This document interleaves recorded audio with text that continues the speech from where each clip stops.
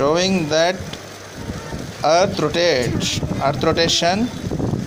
Moon earth showing moon earth sun and the rotation. Fourth class students done this job.